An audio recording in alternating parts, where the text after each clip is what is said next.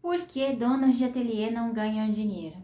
Essa é uma pergunta que todas nós, donas de ateliê, já nos fizemos pelo menos uma vez, né?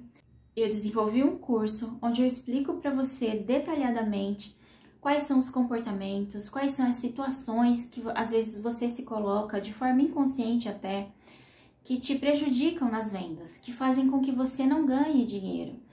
Nesse curso, além de explicar quais os motivos que fazem com que você não ganhe dinheiro, você, enquanto dona de ateliê, não ganhe dinheiro, eu falo também sobre as soluções.